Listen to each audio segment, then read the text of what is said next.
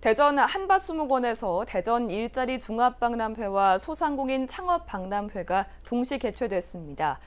코로나19로 2년 만에 대면 행사로 열리고 있는데요. 구직자들에게 일자리와 창업의 기회를 제공하는 장으로 마련됐습니다. 엄수라 기자가 취재했습니다. 즐길 거리가 가득한 4차 산업체험관에 많은 시민들이 모여 메타버스 VR 가상현실 체험과 스마트 모빌리티, 로봇 게임 등 즐거운 체험을 통해 취업 스트레스를 풉니다.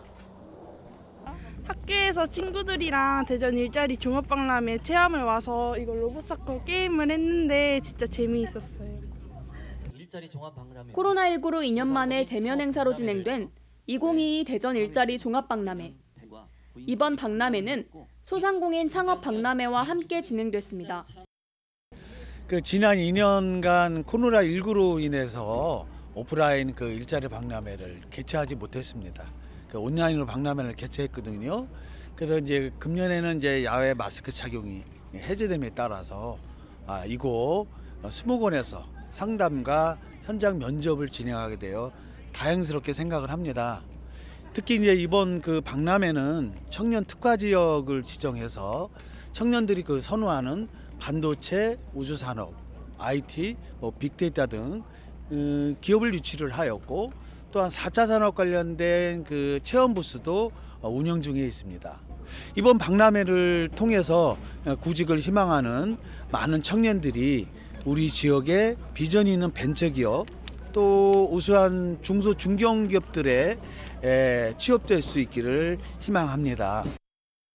일자리 종합 박람회에서는 관리직과 사무직, 전문 기술직 등을 모집하는 120 업체가 참여해 구직자와 1대1 현장 면접을 통한 현장 채용을 진행했습니다. 행사장 한편에 마련된 취업 상담존에서는 대전 지방고용노동청과 중소벤처기업진흥공단 등 유관기업 24곳이 참여해 맞춤형 일자리 상담을 도왔습니다.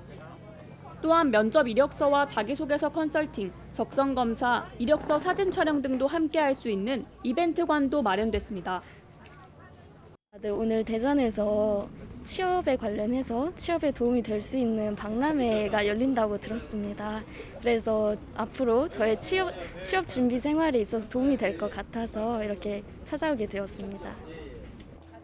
소상공인 창업 박람회는 소상공인 전시관과 컨설팅관 등 3개의 전시관으로 구성돼 창업을 꿈꾸는 시민들에게 알찬 정보를 제공했습니다. 국세청 등으로부터 자금 지원뿐 아니라 창업 관련 지원 사업 등 다양한 정보와 상담도 함께 이루어졌습니다. 네, 이번 창업 박람회에는 지역에 본사를 둔 어, 대규모 프랜차이즈 업계가 참여해서요 정보를 제공해드리고 있고요. 어, 각종 어, 창업 관련 어, 지원 정책에 대한 컨설팅도 진행하고 있습니다. 이번 창업 박람회를 통해 새로운 도전을 꿈꾸시는 분들이 어, 새로운 어, 창업의 기회를 갖길 기대합니다. 취업난 속의 중장년과 청년 장애인, 직업계 고등학교 졸업 예정자까지 대전 시민들에게 취업의 기회를 제공하고 창업의 소망을 키워준 이번 박람회를 통해 모두에게 희망찬 내일이 될 수 있길 기대합니다. CNB 뉴스 엄소라입니다.